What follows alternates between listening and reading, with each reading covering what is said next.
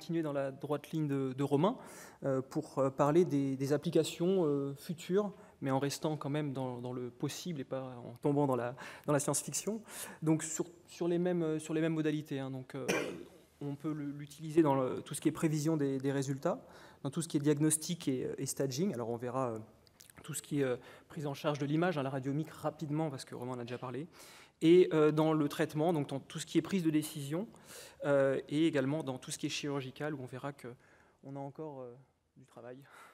Donc rapidement, tout ce qui est outils prédictifs en termes de diagnostic, ou de réponse au traitement. Euh, il y a plein de papiers qui montrent qu'en fait, quand on utilise des modèles euh, d'intelligence artificielle, euh, de réseaux de neurones, on obtient des outils qui sont plus efficaces que lorsqu'on utilise des, des, méthodes statistiques traditionnelles. Donc il y a plein de papiers, c'est pas récent, mais à terme, il n'est pas trop difficile de comprendre qu'au final, tous les outils qu'on utilisera seront plus ou moins développés avec, ces systèmes. La radiologie, euh, on y revient, c'est, je pense, la spécialité qui va être la plus impactée. Lodwick, dans les années 50, avait publié un, papier dans le New England qui expliquait qu'en fait, il n'y avait rien en radiologie qu'un ordinateur ne pouvait pas faire. Ce qui est sacrément visionnaire quand on voit à quoi ressemblaient les ordinateurs à l'époque.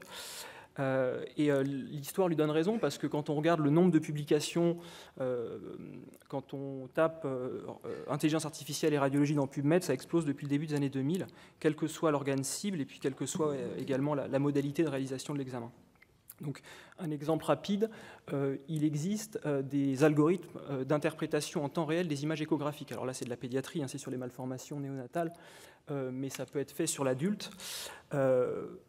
Le scanner, c'est encore, plus, euh, encore plus patent parce qu'on a une quantité d'informations majeure et euh, les algorithmes de, lecture euh, d'images n'utilisent pas les fameuses fenêtres qui sont faites pour que l'œil humain puisse avoir les informations.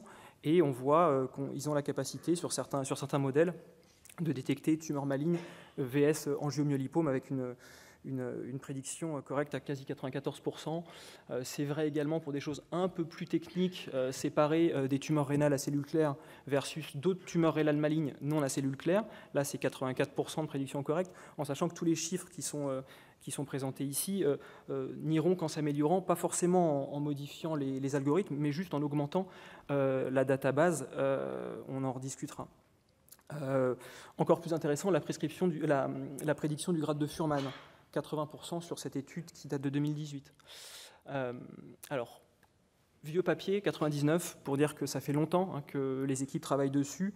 Euh, tentative d'interprétation automatique euh, d'échographie prostatique. il y a des modèles plus récents qui sont plus efficaces.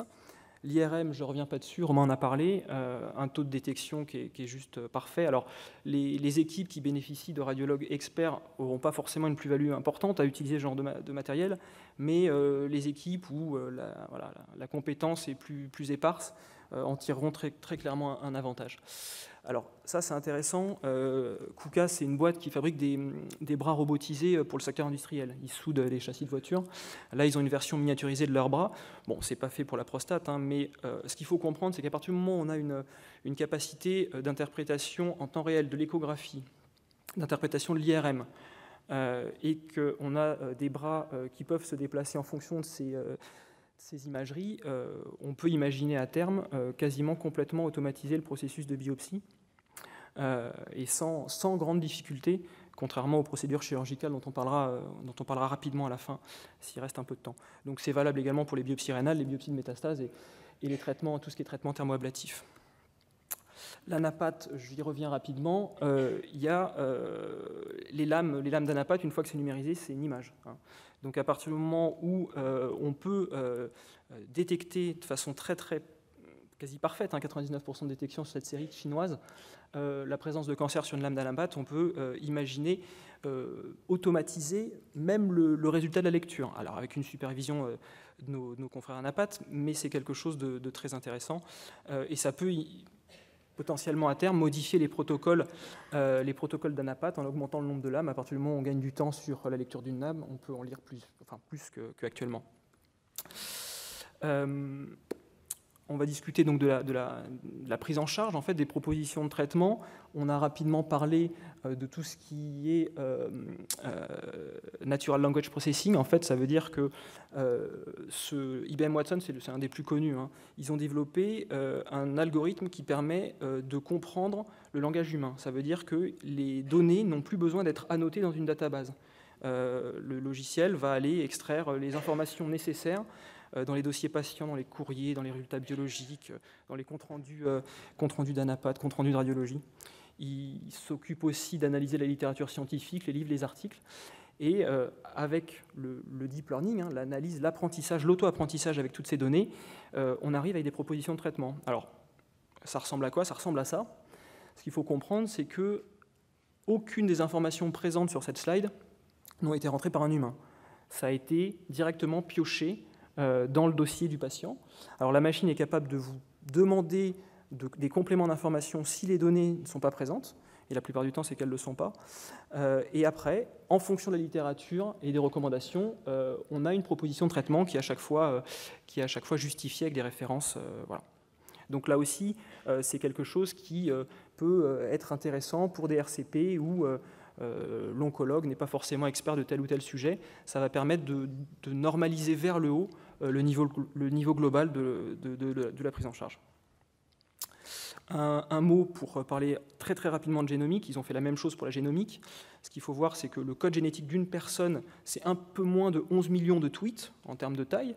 Donc c'est majeur. On se rend compte en fait que l'intelligence artificielle, tout ce qui est deep learning, est intéressant quand la quantité de données devient euh, monumentale et, non appréhendable par une personne euh, humaine. rapidement pour, pour finir, euh, la chirurgie robotique. Alors, euh, la chirurgie robotique en urologie actuellement n'existe pas. En fait, hein. le, Da Vinci, ce sont des, bras articulés, télécommandés, mais il n'y a rien de véritablement robotique. Hein. La, définition dans le Larousse euh, inclut une, notion d'automatisme qu'il n'y a pas. donc, qu'est-ce qu'on a? Bah, On a l'utilisation des logs, c'est-à-dire les données tirées de l'enregistrement des procédures donc qui peuvent être intéressants en termes de, score prédictif, je ne reviens pas dessus, euh, mais également euh, de euh, formation des jeunes chirurgiens avec la courbe d'apprentissage. les procédures autonomes, on n'y est pas du tout, du tout, parce qu'il n'y a aucune capacité actuellement à modéliser de façon vraiment bonne la déformation des tissus. Je, passe rapidement parce que je suis un petit peu en retard. donc voilà, il y, a des techniques de reconstitution euh, de, contourage, de création de modèles 3D, euh, afin de euh, repositionner par-dessus l'image, en fait c'est de la réalité virtuelle, les organes. Alors c'est très difficile parce qu'en fonction de la position du patient, les organes bougent, le pneumopéritoine fait bouger les organes, enfin c'est très très compliqué. il y a un article récent sur un modèle de prostate élastique, là aussi l'élasticité d'un patient à un autre, les prostates n'ont pas la même élasticité, les tumeurs, enfin, c'est très très compliqué, donc on a encore euh, beaucoup beaucoup de, travail, on va pouvoir continuer à opérer nos patients euh, de façon euh, plus traditionnelle. Merci beaucoup.